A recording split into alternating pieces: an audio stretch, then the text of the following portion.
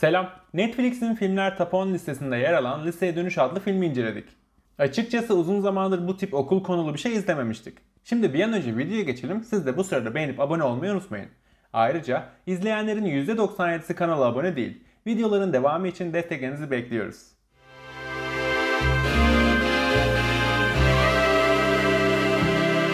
Filmin başrollerinde Rebel Wilson, Sam Richardson, Mary Holland ve Zoe Chao yer alıyor.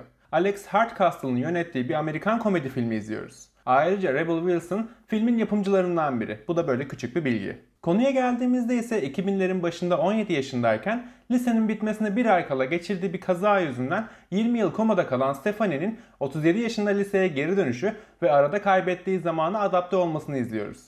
Klasikleşmiş Amerikan liselerinin en büyük odağı olan popülerlik konusunun 2000'lerdeki etkisini ve beraberinde getirdiği rekabet ortamını yansıttıkları bir film olmuş. Mükemmel bir hayat hayali kuran ve bunun için asıl önemli olanın okulda popüler olmak olduğunu düşünen bir kız Stephanie. Pompon kızların kaptanı ve okulun en havalı çocuğunun sevgilisi. Tabii durum böyle olunca da rakipleri de bir hayli fazla oluyor. Tiffany denen diğer kızın hırsı yüzünden prova sırasında bir kaza geçirerek 20 yıllık uzun bir uykuya dalıyor. Filmin başında canlı yayında yapılan bir itirafla geçmişe gidip bu olayı gördükten sonra ise daha yakın bir geçmişten devam ederek günümüze geldik. Stephanie'nin uyandıktan sonra yaşadığı şok ve durumu kavrama süreci oldukça güzeldi. Her ne kadar 37 yaşında olsa da hala 17 yaşında bir zekaya sahip olduğundan durumun ciddiyetini de kavrayamıyor olması olayları daha da tuhaf bir hale sokuyor. Kendi döneminde popülerliğinin en önemli göstergesi olan balo kraliçeliği de hala onun için çok önemli. Az önce dediğimiz rekabet durumunda karakterlerin diyaloglarındaki sürtüşme çok güzel. Üstelik dönemin aşırılık anlayışı da çok iyi bir şekilde yansıtılmış. Ancak aşırı rahatlık ve ergenlik kaynaklı cinsel durumlar çok fazlaydı. Belli bir yere kadar rahatsız edici olabilecek durumdayken sonradan biraz daha normale döndü. Hayalini kurduğu mükemmel hayatta kendine rol model belirlediği kadının evinin önünden arabadan atlaması çok komikti. Bu sürede yaşadığı en büyük şok ise o zamanki sevgilisinin en büyük düşmanı ile evlenmiş olması ve geçmişte kalan rekabetin yeniden ortaya çıkmasıydı.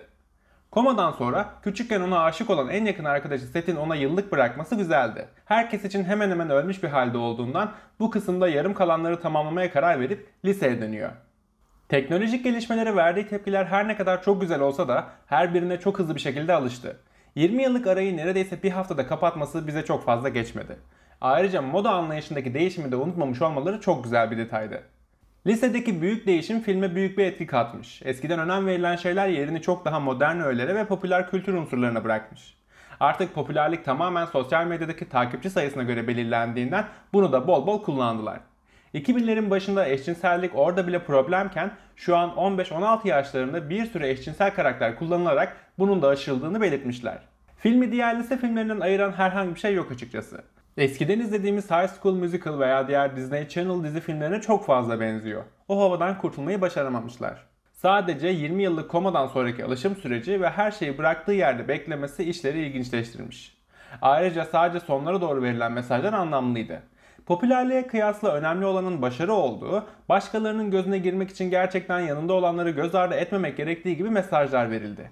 Yetişkinlerin kendi hırsları için çocuklarını kullanmaları ancak çocuklarının da kendilerine ait karakter sahibi bireyler olduklarının sonradan farkına varmaları da güzeldi. Film keyifli vakit geçirmek için izleyebileceğiniz hazır tüketim yapımlarından. Çok derin mesajlar, alt anlamlar veya mantıklı akılcı bir hikaye beklemeyin.